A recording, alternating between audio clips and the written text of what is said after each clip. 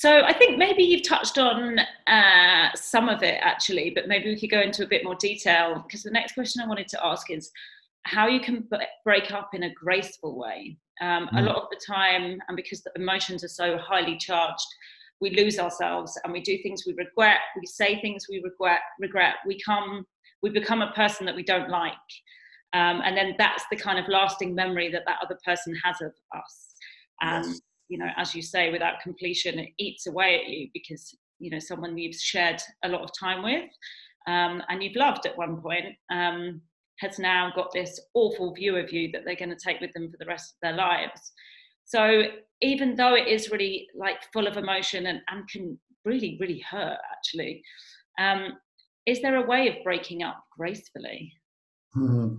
Yeah, you said it. See, when the build-up of the breakup, what we just talked about, talked about, when that has been an unconscious build-up, then you're absolutely right. There's so much resentment, so much blame, um, pain, um, making wrong, bitterness, uh, that it's almost impossible to consider that it's gonna it's gonna be a graceful breakup. It would have required a long time ago a more conscious dealing with what is happening, what has built up to the breakup. If one is really able to, then the most important thing to honor in a breakup is the dignity of the other. It's even in many constitutions in this world written at the beginning of every constitution that the dignity of a human being is the highest good.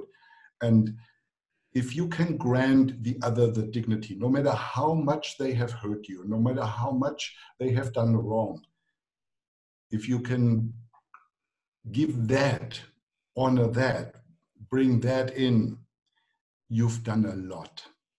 Take your losses, cut your losses, and then commit to learning what there is to be learned and give the other your blessing, even if you don't feel like it that they have been playing a big role, what you will recognize later when you are starting to really see what was going on and to learn about yourself.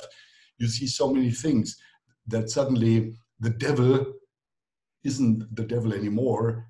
They have had their own journey, their own learning in the relationship, and they served actually as a mirror for things you didn't want to deal with, you didn't want to look at when it was in the heated time of the breakup.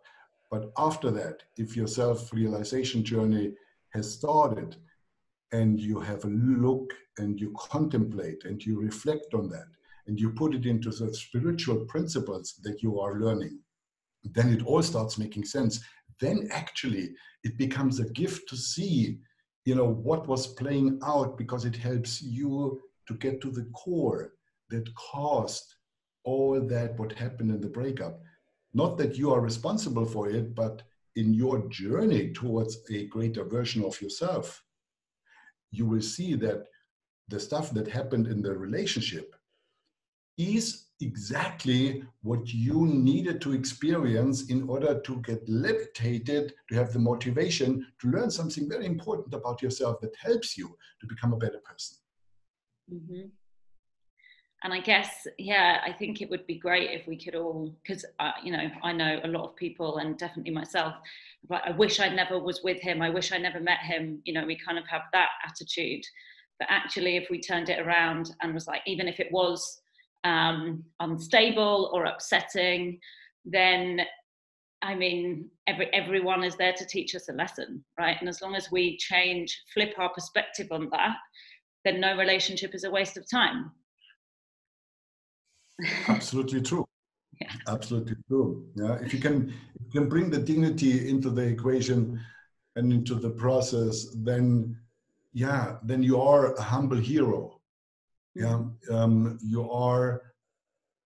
If you don't do that, if you if you hurt or if you mm, violate the dignity of another person, you're going to make an enemy for life.